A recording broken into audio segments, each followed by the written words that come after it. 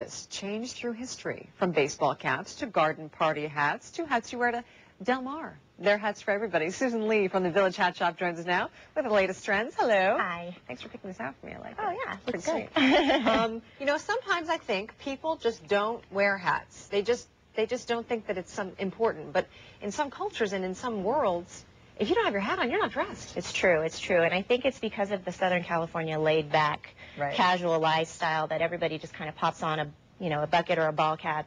And you know we're here. We've been here for you know since 1980, and we're Okay. always promoting headwear and anything to top off an outfit to This look be a really, a really big weekend for you, being Easter. Yeah, Easter weekend. very important for us, as well as uh, opening day of the Del Mar races. Right, we get right. a lot of business. We get a lot of customers coming in looking Well, for. let's talk about the cool trends. Like this one, for example. This is a very, very wide brim. Very wide brim. This um, is definitely focused in on sun protection, Right. and it's a very lightweight hat. It's breathable. It's made out of ribbon, Oh, just nice. sewn onto itself. So this is really, really popular with our customers. And this I see is like twenty-one dollars. Yes. Kind of. So can you can you crunch it up and put it in your bag? It is a packable hat, and so Oh, you can go ahead and crunch it up, and it's got the wire in the brim, so you can pop it back oh, into Oh, shape, nice. and it'll.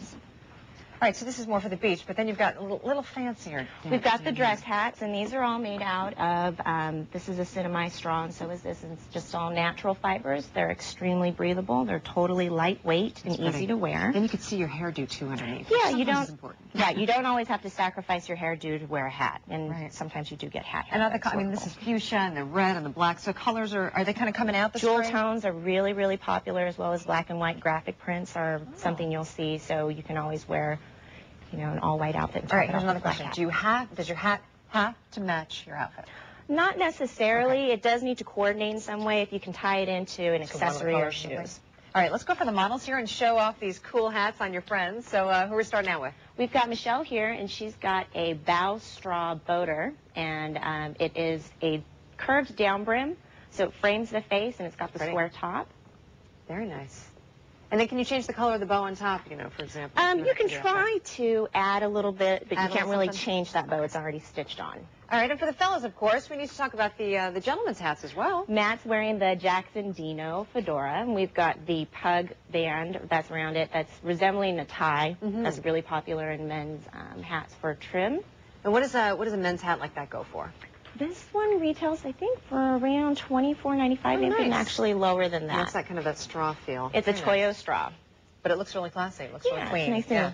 Okay, how about the next one? Back to the kind of hot pink. This really looks like an Easter bonnet here. isn't it? Definitely. This is Rose, and she is wearing a Sinamay straw with uh, it's self-trim, and it's got an interesting crown. It's slanted, and it's also kind of got a bump in it, so it's adding a little bit of an interesting touch to it as well as could really the have big contrasting hair underneath there, and it wouldn't get messy. This is true. Excellent. And uh, we got uh, the next fella. Opie is wearing our Bailey Monroe fedora. This is a Toyo braid fedora, and it's a two-tone, which is actually very popular with men's styles as well. Opie, give us a little spin or something, big fella.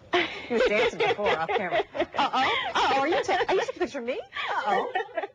On. It's Opie. Look out. Very nice, my you can friend. see it gives you a lot of confidence It and does. personality. Yeah, a little bit. Let's talk some more about these. You've got, um, this is kind of a, what does this look This is a cloche, Oh, you've it. and cloche in French means bell. So it's a bell Oh, okay. shape, and uh, it's definitely form-fitting to the head and worn low, and was made popular in the 20s. Is it, let me ask another question. Bang or no bang? Bangs with the hair? You can wear bangs. We typically, when we're wearing hats, we kind of wear wear them down lower, so you can push them back if not. But then if you push them back, you These have a chance of getting tips. hat hair. All. All right, Susan Lee. The Village Hat Shop is on 4th. On Fourth Avenue as well as in Seaport Village. Excellent. Thank you very much. Thank Thanks, you. you guys. You look